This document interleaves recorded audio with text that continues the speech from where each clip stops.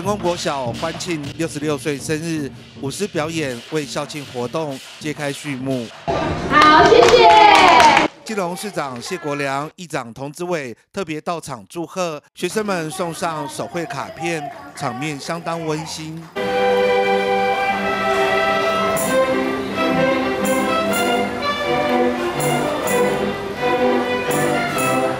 近年来，市政府的美丽校园运动计划，让成功国小不仅改善了老旧的体育场，并设置了音乐表演厅。目前工程进入了验收阶段。市长谢国良说，希望借由校园的环境提升，能够打造良好的教学品质。我们跟教育处也会努力的、持续的来完成。啊，也许要多花一些时间，但是我们一定会让成功国小。啊，要达成一个良好的教学品质，而且一个无纷争的一个教育环境。啊，那不过我想今天最主要开心的是庆贺他的生日。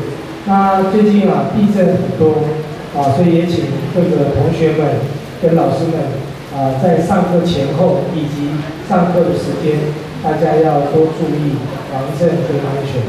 对于老旧的建物，是否也有很清楚的方向？最近都积极的在推动当中，所以我们一起努力度过这个难关。这一次的地震的频率跟我们过去所了解的地震频率相当不一样啊，所以一直有人在讨论，未来还是会不会有比较大的一个余震跟新的强震等等。总之，希望大家呢不能掉以轻心，我们啊只要对于我们校内的环境，对于防震的这个程序。大家都非常的认真，相信啊，在大家的努力之下，一切都会平安无事。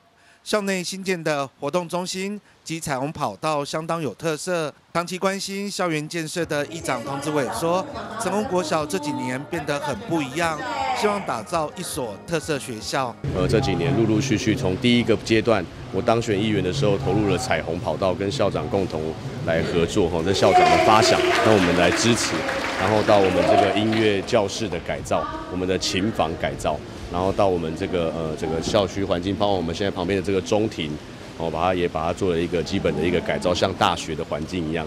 哦，那我们校门口其实除了这个通学步道的投入资源经费改善以外，我们在校门口做了一个非常特色的，就是有闲置空间，把它改造成幼儿园的这个。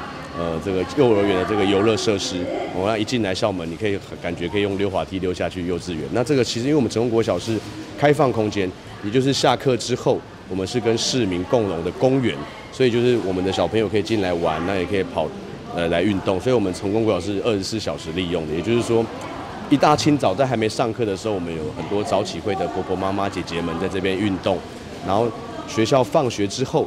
我们还有非常多的市民朋友进来休闲、游憩跟这个呃运动哈。我想成功国小在接下来的发展，我们这个体育馆也即将完工，会有容纳四百人的一个演艺空间，未来也可以有效的来分散我们文化中心的表演需求。